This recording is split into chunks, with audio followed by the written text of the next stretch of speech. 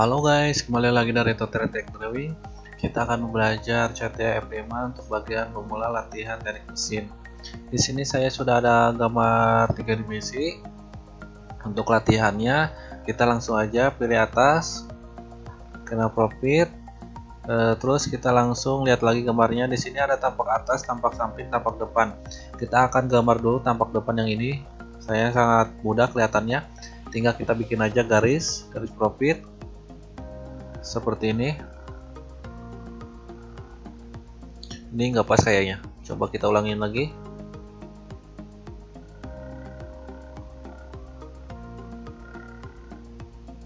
Nggak apa-apa nanti tinggal kita ukur aja guys. Coba kita lihat ukurannya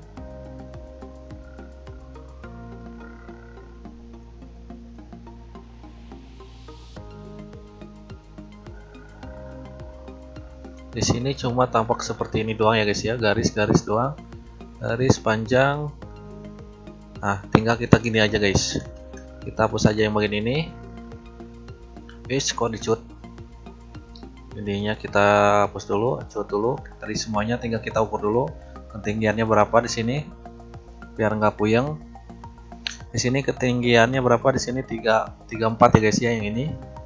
34 34 tulis saja seperti ini terus apalagi lebarnya berapa di sini? Lebarnya itu sampai bentuk itu 70 70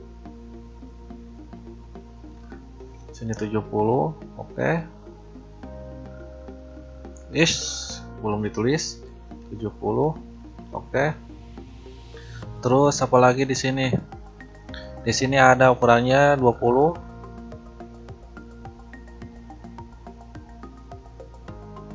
plus 20 oke.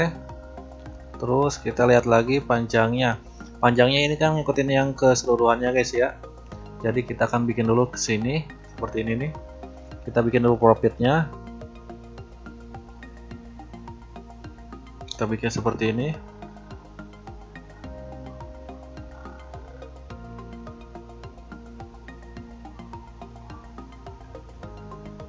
Nah seperti ini ya guys ya bikinnya ini udah lurus kan guys? Tinggal kita ukur lagi.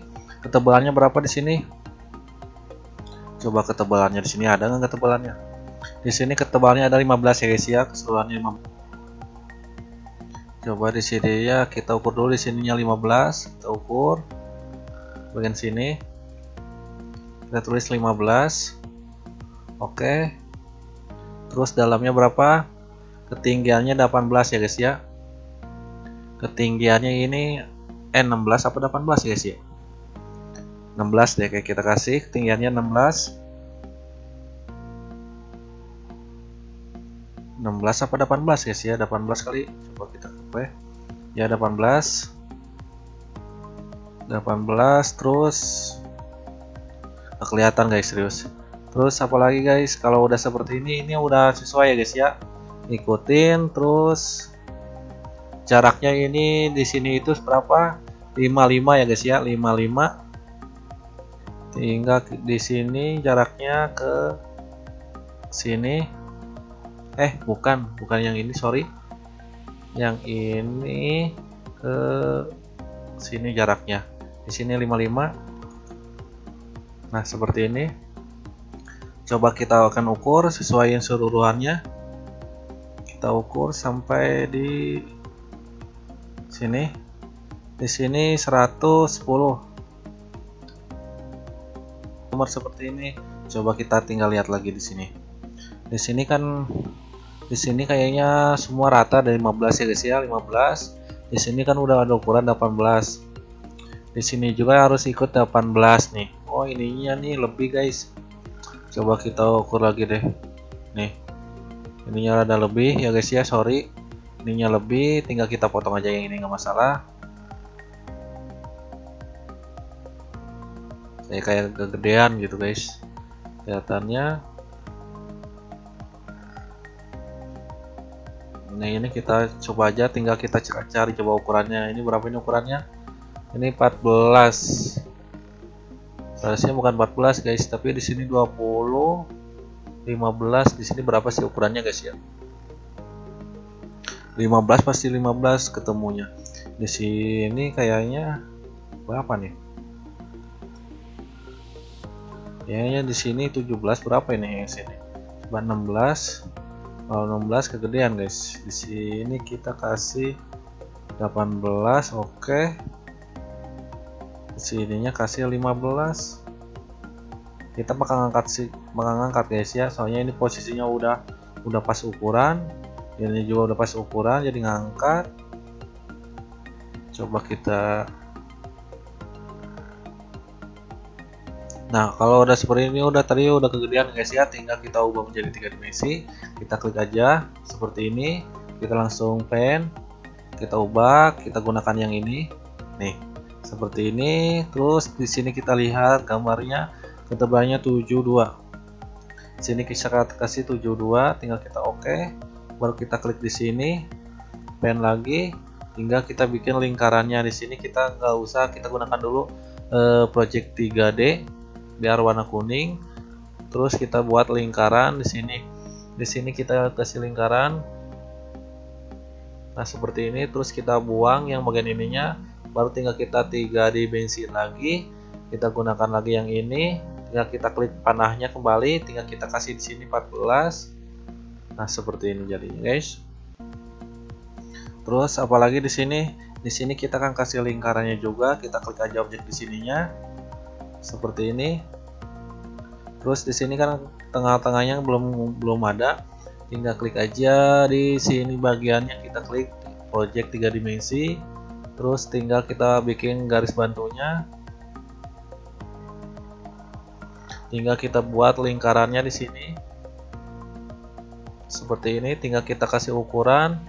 Di sini diameter berapa? Diameter 28 28 kita kasih. Baru tinggal kita hapus aja yang warna kuning ini. Tinggal kita ubah gunakan yang paling bawahnya di sini. Yang ini projectnya. Tinggal kita oke. Okay. tinggal kita pilih lagi yang bagian sininya satu lagi. Di sini kita bikin lagi di sininya project tiga dimensinya biar kelihatan pas tengah-tengahnya. Kita bikin lagi garis bantu.